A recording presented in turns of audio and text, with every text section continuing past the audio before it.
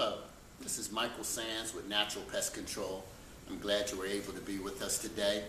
The topic I'd like to go over is the idea of using sprays by themselves to take care of bed bug situations. In our industry, we have a term, it's Integrated Pest Management, IPM. And it works well because you use all those methods that are successful at the same time to take care of a problem. You use inspections, you uh, do with mechanical control, you do physical control, and yes, you do use some chemical control.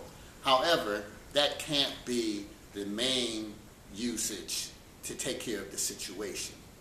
Uh, with us and with anybody who does your service, we like to use steam, heat, a combination of other things to make sure that the problem is well taken care of. Uh, inspection and vacuuming uh, to eliminate the physical problem, and steaming the cracks and crevices to make sure you get those eggs and small nymphs that may be there and that would extend the problem if they're not taken care of.